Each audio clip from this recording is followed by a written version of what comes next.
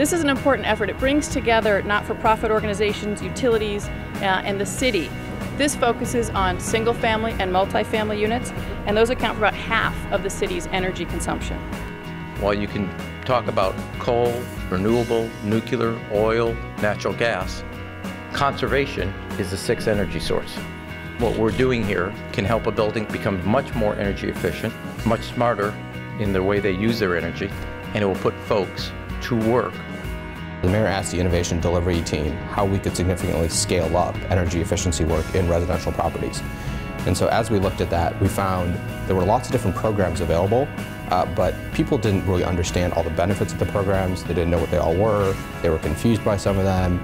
So we're offering and launching today a one-stop shop to access programs, to make it less confusing, to make it easier for people to know what they can do. And we're bringing targeted outreach to let people know exactly where they can go and how to access these programs through energy zones throughout the city. There's three key benefits of this partnership. The first is better access to incentives. So these incentives include over $22 million in rebates and financing, low cost or free assessments, and then some of the equipment that's included. This would be CFLs, low flow shower heads, programmable thermostats. The second benefit is a one-stop shop. This includes both a single phone number, which is 855-9-IMPACT, as well as a single website, which is www.chicagosustainability.org. Both the phone number and the website will get you enrolled in the right programs, so it becomes truly a one-stop shop. And the third benefit is acceleration. This is addressing the mayor's goal of scaling up, accelerating energy efficiency retrofit work in Chicago. Retrofit Chicago communities are the communities that can benefit directly from this kind of effort. We will see 8,000 homes and apartments retrofit through this effort, and all of those residents and owners will save hundreds of dollars. Overall, we see this partnership doubling the pace of energy retrofit work being done. This means about 6,700 multifamily units uh, in the next 18 to 24 months uh, will get retrofits in the five target communities that we have and about thousand single-family homes will get full retrofits in the 10 single-family uh, energy efficiency zones that we had identified.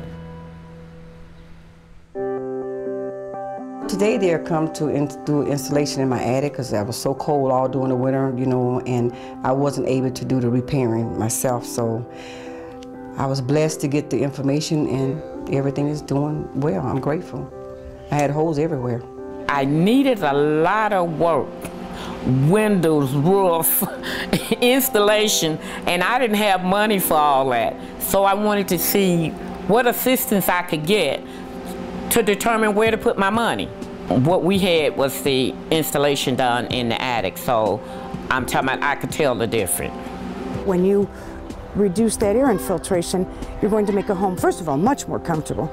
They're drafty old things, but then also you have the ability to significantly reduce the amount of energy usage, and then also the utility bills. Before I had my doubts to see if it was really going to work, but it definitely does work.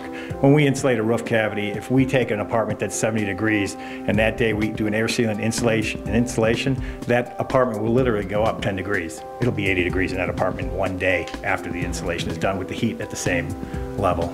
So there's a big difference in heat loss. How this pans out, for a 25 unit multifamily building, that's a savings of about $10,000 a year. And for a single family home, it's a savings of about $350 a year. All the work that's being done on these properties will, will also create a lot of jobs. We expect about 200 jobs to be created. Well, it means life for me because it, uh, the program, I'm, I'm so grateful that I found out about it because I really was giving up. You know, I didn't have no help. But if it wasn't for the program, I wouldn't have made it.